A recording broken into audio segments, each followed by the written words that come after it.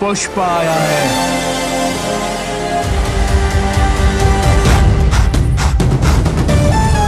अल्लू अर्जुन ने अपने जन्मदिन से पहले पुष्पा दो का फ़र्स्ट लुक पोस्ट जारी किया और टी सीरीज़ ने पुष्पा दो का ट्रेल भी निकल दिया है, जिसने 17 घंटों में दो करोड़ लोगों को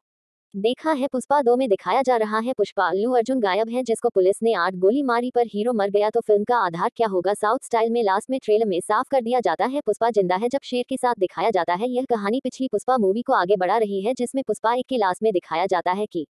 पुष्पा की एक पुलिस वाले से लड़ाई हो जाती है, यह उसी कहानी को आगे ले जा रहे हैं, पुष्पा दो की आठ गोली मरना, पुलिस के द्वारा, और पुष्पा द रूल्स फ़िल्म का नाम पुष्पा और पुलिस को कहानी को ही दर्शा रहे हैं। चाहे वो ऊपर वाला हो या नीचे वाला, मंगल, सीनू, चाहे आवाज़ मैं सबको लपेटे में ले डालेगा।